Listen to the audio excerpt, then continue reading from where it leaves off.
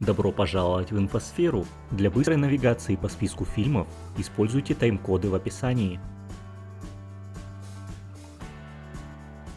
Окончательный счет.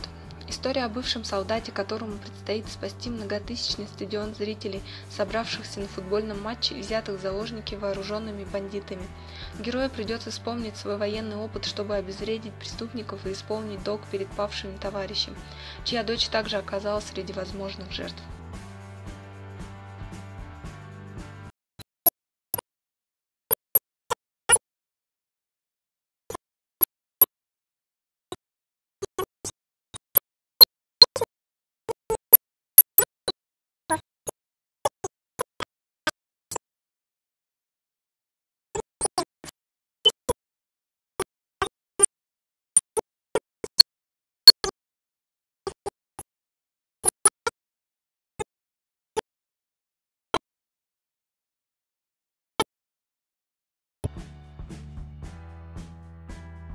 Город грехов 2. Женщина, ради которой стоит убивать. В темных переулках города грехов Дуайт планирует жестоко отомстить женщине по имени Ава Лорд, которая его предала, в то время как Нэнси пытается смириться со смертью детектива Хартигана. Исчезнувшая 2014 года.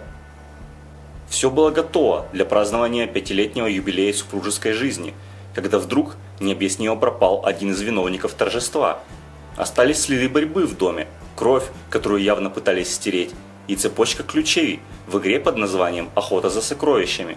Красивая, умная и невероятно изобретательная жена ежегодно устраивала ее для своего обожаемого мужа.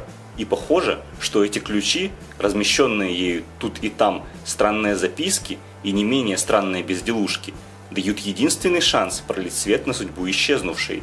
Вот только не придется ли охотнику в процессе поиска раскрыть миру и пару-тройку собственных малосимпатичных тайн?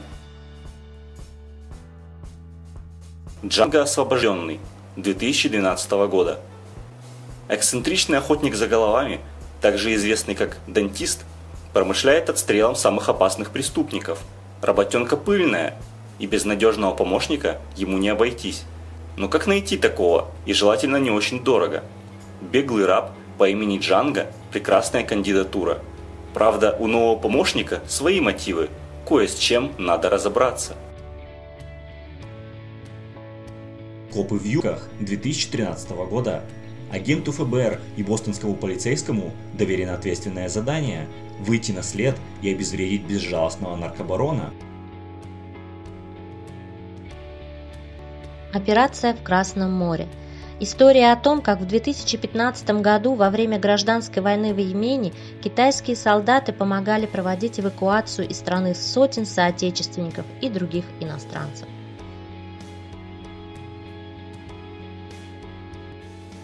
Сторонник. В руки оперативников из отдела по борьбе с наркотиками попадает один из работников взорвавшейся нарколаборатории.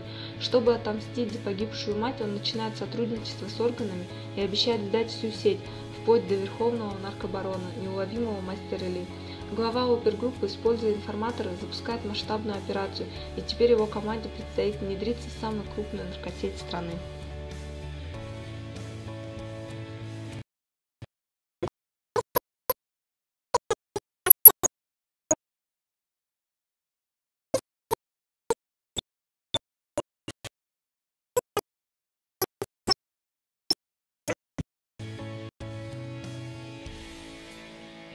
Бандит полицейский дьявол. 2005 год. Криминальный босс провинциального городка Дон Су подвергается нападению серийного убийцы и оказывается единственной выжившей жертвой.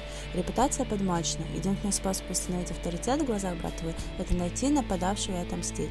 Местный детектив всей своей полицейской душой ненавидит организованную преступность, но ему приходится объединить свои силы с бандитом Дон Су, чтобы изловить еще более ненавистного маньяка.